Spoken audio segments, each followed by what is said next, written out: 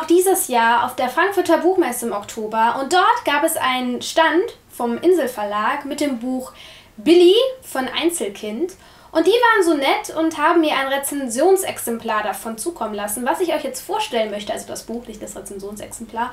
Und ähm, ja, das Buch hat 203 Seiten, ist äh, in diesem Jahr 2015 im September rausgekommen.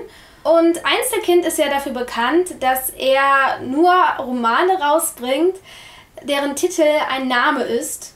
Und ähm, deswegen passt das Buch Billy auch super in seine Reihenfolge. Billy ist ein junger Mann aus Schottland, der sehr früh seine Eltern verloren hat und deswegen bei seinem Onkel aufwächst und somit auch einen Bruder hat. Ja, diese Familie hat ein kleines Geheimnis, denn die ganze Familie ist quasi ein Geschäft von Auftragskillern. Und ja, die Geschichte handelt davon, wie Billy zu dem geworden ist, was er nun jetzt ist, nämlich der Auftragskiller.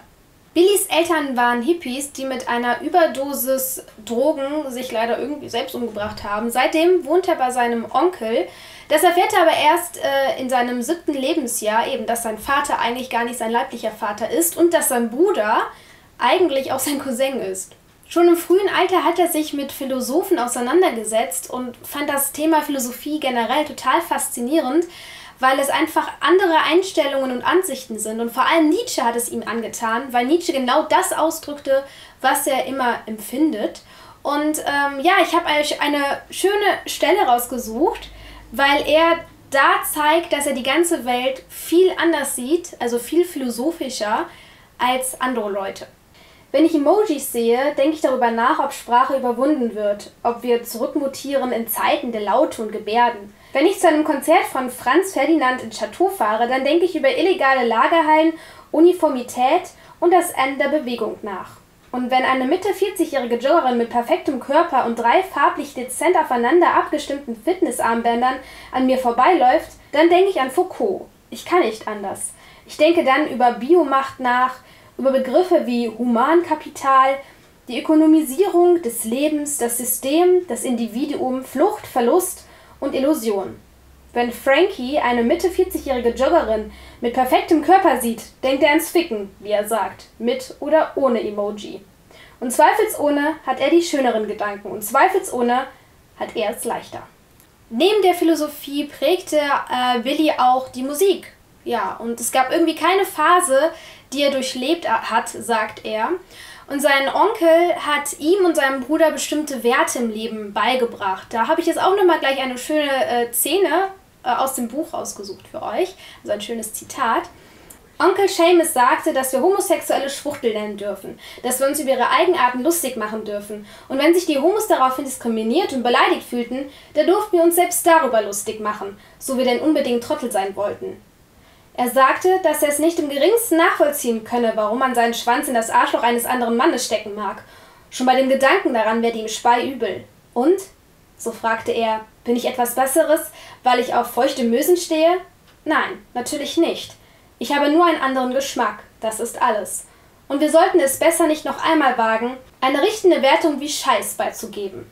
Irgendwann wird Billy dann in das Familiengeheimnis eingeweiht und äh, sein Bruder ist schon seit drei Jahren dabei, denn sie bringen Menschen um im Auftrag von anderen Menschen. Aber allerdings nehmen sie nicht alle Aufträge an.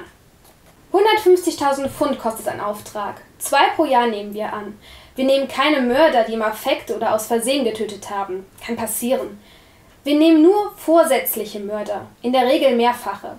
Das hat nichts mit Ehre oder Moral zu tun. Wir sind nicht die Guten, käme uns nie in den Sinn. Es ist einfach nur logisch. Es geht um Verdienst und um Konsequenz. Als Billy 19 war, musste er sich also entscheiden, ob er äh, lieber studieren möchte oder lieber in den Familienbetrieb einsteigen will. Sein Onkel hat ihm freie Wahl gelassen, aber Billy hat sich irgendwann gesagt, gut, was mache ich nach dem Studium? Was erreiche ich da? Also bringe ich mal lieber ein paar Leute mit meiner Familie um.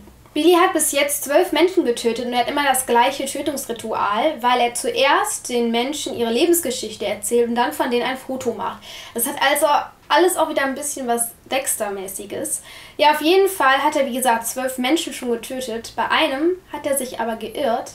Und das holt ihn jetzt alles so ein bisschen ein. Mehr müsst ihr aber natürlich selber nachlesen. Das Buch fängt leicht verstörend an, macht aber Lust auf mehr ähm, weil man am Anfang dieses Ritual, wie Billy äh, die Menschen tötet, ja, beschrieben bekommt. Und es gibt natürlich auch einen roten Faden im Buch.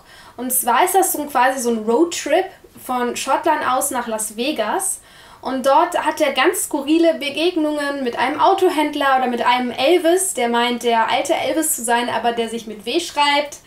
Ähm, und halt all so ein Zeug. Doch unterbrochen ist der rote Faden äh, viel durch Flashbacks und Erzählungen, wie seine Kindheit verlaufen ist und eben wie er dazu gekommen ist, er zu sein, der er heute ist.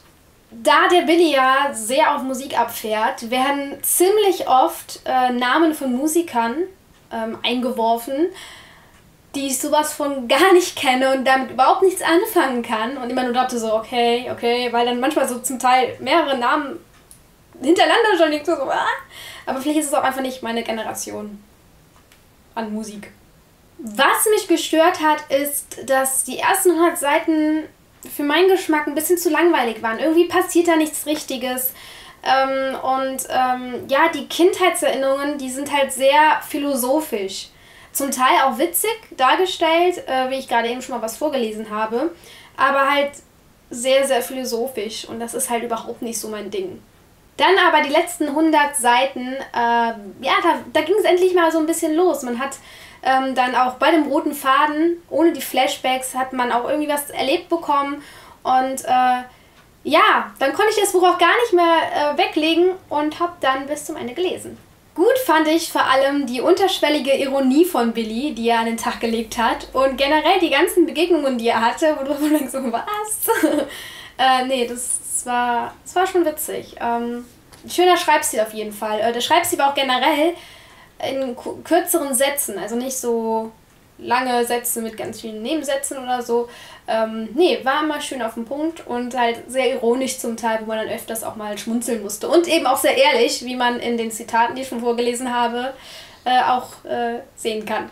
Mein Fazit ist also ein Muss für alle, die Dexter mögen. So, das war's mit der Buchrezension von Billy äh, von Einzelkind. Ja, danke an den Inselverlag für das Rezensionsexemplar. Und äh, ja, bald werdet ihr noch ein neues Buch von dem Inselverlag von mir vorgestellt bekommen. Bis dahin, tschüss.